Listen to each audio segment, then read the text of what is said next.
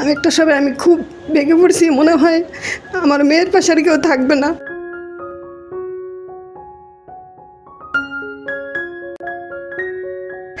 আমার একটা বৃদ্ধ বাবা আছে। এখন মনে হয় যেন কি আল্লাহ তালার এটা একটা রহমত। যে ডাক্তার হ্যাঁ শফিউল্লাহ স্যারের উচিলাতে আমি আবার আমার সুস্থ জীবন ফিরে পাইছি। হ্যাঁ আমার মেয়েটার জন্য আমি তখন খুব ভাবতাম। যে হয়তো আমার যদি কিছু হয়ে যায় তাহলে আমার মেয়েটার কি হবে কি হবে?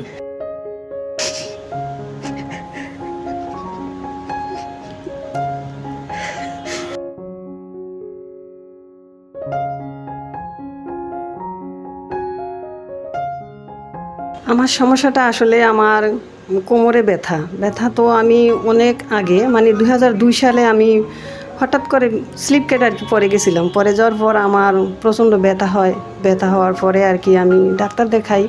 তো আমি ভালো ছিলাম। অনেক দিন আমি ভালো ছিলাম। তারপরে এখন এই সেপ্টেম্বরের শুরুতেই আমার আবার প্রচণ্ড ব্যথা শুরু হয়। হঠাৎ করেই আস্তে আস্তে যে পা ঝিনঝিন করে ব্যথা করে, তখন দিয়ে আবার ঘাড়ে ব্যথা করে, হাত ব্যথা করে হুম তখন আমার হাঁটাচলা খুব কষ্ট হচ্ছে।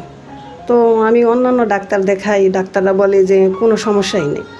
হুম চাঁদপুর দেখাই ঢাকা দেখাই। তো ডাক্তাররা বলে কোনো সমস্যাই নাই। তখন আমি একটু মানসিকভাবে আর কি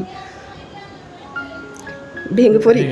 তারপরে আমার সাজাবন আর কি এই ইউটিউবে স্যার সাক্ষাৎকার দেখে দেখার পরে আমার এই জায়গায় আমি আর কি আসি। তো ভর্তি আর তখন হয়নি ওষুধ লেগে আর কি চলে গেছি।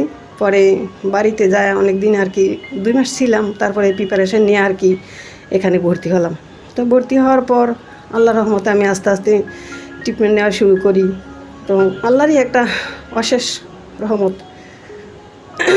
ডাক্তার শফিউল্লাহ স্যারের উসিলাতে আল্লাহ আমার ব্যথাটা সম্পূর্ণ মাফ করে দিয়েছে। এখন আমি সম্পূর্ণভাবে সুস্থ।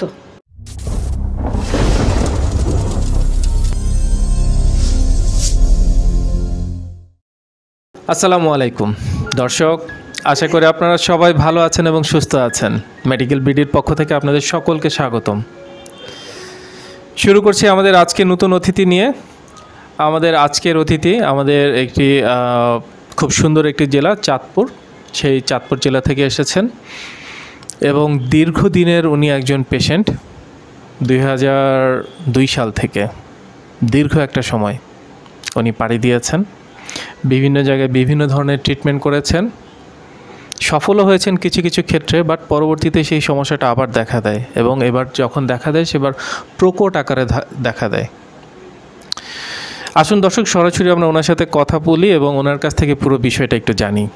আসসালামু আলাইকুম। ওয়ালাইকুম আসসালাম রহমতুল্লাহ আপনার নামটা একটু বলেন আমাদেরকে। আমার নাম মেহেরুন্নেসা চাঁদপুরে কোথায় আপনার দেশে বাড়ি? চাঁদপুরের হামচরে। হ্যাঁ জি। খুব সুন্দর একটি জায়গা আমার যাওয়ার একটু সৌভাগ্য হয়েছিল ওখানে। আচ্ছা আমাদের দর্শকদের জন্য কি একটু বলবেন যে মূলত আপনার সমস্যাটা কি এবং কবে প্রথম শুরু হয়েছিল? আমার সমস্যাটা আসলে আমার কোমরে ব্যথা। ব্যথা তো আমি অনেক আগে মানে দু হাজার দুই সালে আমি হঠাৎ করে স্লিপ কেটে আর কি পরে গেছিলাম। পরে যাওয়ার পর আমার প্রচণ্ড ব্যথা হয়। ব্যথা হওয়ার পরে আর কি আমি ডাক্তার দেখাই। তো আমি ভালো ছিলাম। অনেক দিন আমি ভালো ছিলাম তারপরে এখন এই সেপ্টেম্বরের শুরুতেই আমার আবার প্রচণ্ড ব্যথা শুরু হয়। তখন একটু আপনাকে ইন্টারাপ্ট করি। দুই হাজার দুই সালে যখন প্রথম আপনার মানে আপনি স্লিপ করে পড়ে যান মানে আপনি তো আগে একটু স্বাভাবিক ছিলেন আমরা জানি যে আপনি একজন গৃহিণী এবং গৃহস্থালীর সব ধরনের কাজই আপনাকে পুরোটা আপনাকে সামলাতে হতো। তো যখন প্রথম স্লিপ করে পড়ে যান মানে পড়ার সাথে সাথে কি এমন হয়েছিল যে আপনি আর হাঁটতে পারছেন না বা প্রচণ্ড রকম ব্যথা কি হয়েছিল? না যখন আমি পরে গেছি হ্যাঁ তখন আমার প্রচণ্ড ব্যথা ছিল। আমার পা আমি বাম পাটা টেনে টেনে হাঁটতাম। আচ্ছা। হ্যাঁ তো কোনো ধরনের এক্স রে বা কোনো কিছু করেছিলেন বা ডক্টর দেখিয়েছিলেন? হ্যাঁ। আচ্ছা। ঢাকা ঢাকাতে আর কি ওই ডাক্তার দেখাইছি। পরে বলছে যে এটা সেরে যাবে। তো হ্যাঁ তখন আবার আমি প্রেগনেন্ট ছিলাম। তো এই কারণে আর কি কোনো মেডিসিন উনি হ্যাঁ মেডিসিন দেওয়া হয়নি। পরে আর কি আমার মেয়ে হওয়ার পর আর কি আমি সুস্থ হয়ে গেছি। ব্যথা তখন ছিল না। আচ্ছা হ্যাঁ তো অনেক দিন পরে আবার তখন ব্যথা তখন আবার অন্য জায়গায় ডাক্তার দেখাই। তো তারপরেও আমি ভালো ছিলাম। অনেক দিন আমি ডাক্তার দেখাইছি কিন্তু ভালোই ছিলাম। তো হঠাৎ কিছুদিন যাবত আমার প্রচণ্ড ব্যথা। এটা কবে থেকে? ঠিক। এটা যে সেপ্টেম্বরের শুরু থেকে। দুই হাজার বিশ সালের। হ্যাঁ দুই হাজার বিশ সালের সেপ্টেম্বরের শুরু থেকে আমার কোনো ঘটনা কিছু ঘটেছিল নাকি হঠাৎ করেই ব্যথা? মানে হঠাৎ করেই আস্তে আস্তে যে পা ঝিনঝিন করে ব্যথা করে তখন দিয়ে আবার ঘাড়ে ব্যথা করে হাত ব্যথা করে। হুম তখন আমার হাঁটা চলা খুব কষ্ট হচ্ছে। তো আমি অন্যান্য ডাক্তার দেখাই ডাক্তাররা বলে যে কোনো সমস্যাই নেই। হুম চাঁদপুর দেখাই ঢাকা দেখাই তো ডাক্তাররা বলে কোনো সমস্যা নাই তখন আমি একটু মানসিকভাবে আর কি ভেঙে পড়ি। আচ্ছা।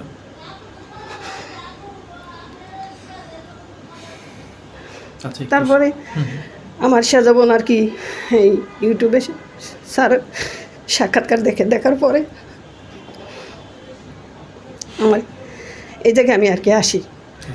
আসার পর স্যার সকল পরীক্ষা নিরীক্ষা করার পর স্যার বলছে যে হ্যাঁ আপনার ওই যে পরে গেছেন ওই থেকে আর কি সমস্যা। আপনার ব্যথা আর কি উপরে উঠে গেছে এমনকি হ্যাঁ ঘাড় পর্যন্ত পৌঁছে গেছে এমনকি ওই যে পায়ের পায়ে নেমে গেছে কুচকিতে নেমে গেছে ব্যথা। আচ্ছা। তো স্যারে আর কি ভর্তি দিল একুশ দিন। তো ভর্তি আর তখন হয়নি ওষুধ লেকে আর কি চলে গেছি। পরে বাড়িতে যায় অনেক দিন আর কি দুই মাস ছিলাম তারপরে প্রিপারেশন নিয়ে আর কি এখানে ভর্তি হলাম। তো ভর্তি হওয়ার পর আল্লাহ রহমতে আমি আস্তে আস্তে ট্রিটমেন্ট নেওয়া শুরু করি। তো আল্লাহরই একটা অশেষ রহমত। ডাক্তার শফিউল্লাহ স্যারের উসিলাতে আল্লাহ আমার ব্যথাটা সম্পূর্ণ মাফ করে দিয়েছে এখন আমি সম্পূর্ণভাবে সুস্থ। আপনার সেই পায়ের ব্যথা বা কোমরের ব্যথাগুলো কি এখন আছে? না এখন আমার পায়ের ব্যথা বা কোমরের ব্যথা নেই। আপনি কি সেই পা টেনে টেনে হাঁটাটা এখন করতে হয় আপনার? না না এখন আমার আর পা টেনে টেনে হাঁটতে হয় না। আলহামদুলিল্লাহ। আমরা একটু পেছনের দিকে যাব। পেছনের দিকে যাব এই কারণে যে আমরা একটু পুরো বিষয়টা একটু আপনার কাছ থেকে জানব। যে যখন আবার নতুন করে আপনার এই ব্যথাটা শুরু হয়, আমরা জানি যে আপনি একজন গৃহস্থ বাড়ির বউ এবং পুরো বাড়ির সব কিছু একা আপনার হাতে আপনি সামলান এবং খুবই কর্মঠ এবং প্রাণচঞ্চল একটা মানুষ আপনি ছিলেন। পুরো পরিবারটাকে আপনি নিজে একা সামলে রাখতেন, আপনার একটা মেয়ে আছে। তো যখন প্রথমেই আবার এই সমস্যাটা দেখা দেয় কি হয়েছিল? আপনি কি ব্যথার যন্ত্রণা এমন হয়েছিল যে একেবারে বিছানায় শয্যাশায়ী হয়ে গিয়েছিলেন? না শয্যাশয়ী হই নাই কিন্তু পা পাগুলা ফুলে যাইতো। আমার হাঁটা চলায় খুব কষ্ট হইতো আমার কাপড় চোপড় পরতে আর কি খুব কষ্ট হইতো। তখন আর কি আমার মেয়ের সাহায্য নিতে হইতো।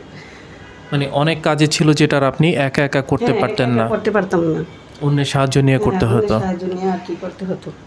তো এই সময়টা আমরা জানি যে অত্যন্ত কষ্টের। আসলে যখন একটা মানুষ কর্মঠ একটা মানুষ হঠাৎ করে একটু অচল হয়ে যায় অন্যের সাহায্য নিয়ে চলতে হয় সংসারের অনেক কাজ থাকে যেই কাজগুলো আগে আপনি একটা সময় সামলাতেন এখন আর সেই কাজগুলো আর হচ্ছে না। আপনি নিজে করতে পারছেন না কাউকে দিয়েও করাতে পারছেন না পুরো সংসারটা একটি স্থবিরের মতো হয়ে যায়। তাই না? জি। তো সেই সময়টায় আমরা জানি যে যখন দিনের পর দিন মানুষ বিভিন্ন ধরনের ট্রিটমেন্ট করে যখন সঠিক চিকিৎসা পায় না কিছুটা হতাশ হয়ে যায় এবং কখনো কি মনে হয়েছিল যে আপনি আর কখনো ভালো হবেন না বা আগের মতো আর কখনো ফিরে পাবেন না সেরকমটা মনে হয়েছিল? হ্যাঁ।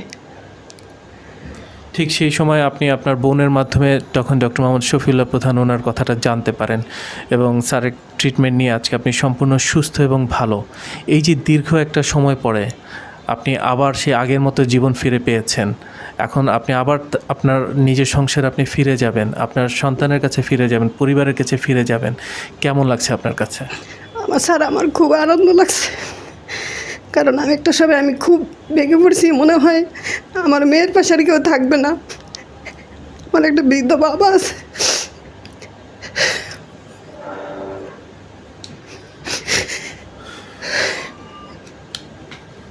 এখন মনে হয় যেন কি আল্লাহ তালার এটা একটা রহমত। যে ডাক্তার হ্যাঁ শফিউল্লাহ স্যারের উচিলাতে আমি আবার আমার সুস্থ জীবন ফিরে পাইছি। হ্যাঁ আমার মেয়েটার জন্য আমি তখন খুব ভাবতাম যে হয়তো আমার যদি কিছু হয়ে যায় তাহলে আমার মেয়েটার কি হবে? হবে?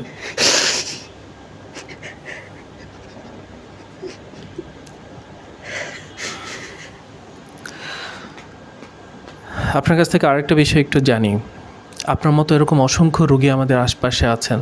যারা হয়তো ঠিক আপনার মতোই এরকমটা চিন্তা করে, যারা হয়তো এইভাবে ভাবে যে আমি কি আদৌ আসলে ভালো হব কি হব না।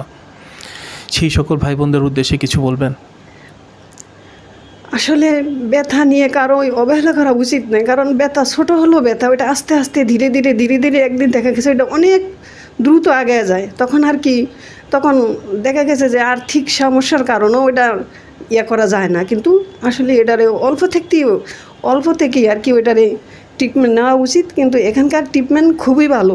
আমি মনে করি হ্যাঁ দ্রুত সময়ের ভিতরে হ্যাঁ দ্রুত সময়ে মানুষ সুস্থ হয়ে যায়। আমি মনে করি যদিও কারও সামান্য ব্যথা থাকে ওইটা নিয়ে অবহেলা না করে ডাক্তার শফিউল্লাহ স্যারের সাথে দেখা করে ওনার ওনার মতন ওর চিকিৎসা নেওয়া উচিত।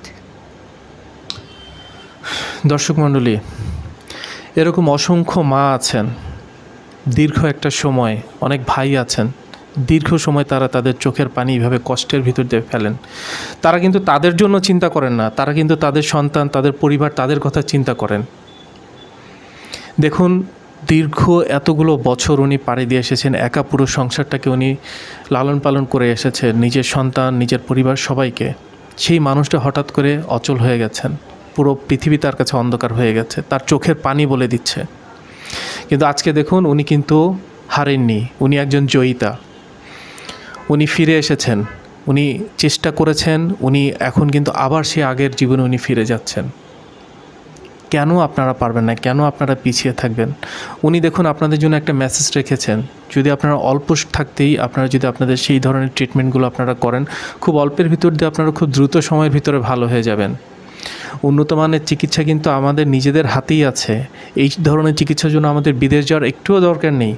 আমাদের দেশে অসংখ্য খুব ভালো ভালো কনসালটেন্ট আছেন, যাদের ভিতরে ডক্টর মোহাম্মদ শফিউল্লাহ প্রধান অন্যতম। এবং ওনার হাত ধরেই অসংখ্য রুগী অসংখ্য রুগী ভালো হয়ে যাচ্ছেন এবং তারা তাদের স্বাভাবিক জীবনে এখন বিচরণ করছেন। ধন্যবাদ আপনাদের সকলকে আমাদের সঙ্গে এতক্ষণ থাকার জন্য। আপনাকে অসংখ্য ধন্যবাদ। আশা করি আপনার বাকিটা জীবন আপনি খুব সুন্দরভাবে এবং স্বাভাবিকভাবে এরকম সুন্দরভাবে আপনি থাকবেন। আসসালামু আলাইকুম। আসসালাম। আপনাদেরও সবাইকে ধন্যবাদ।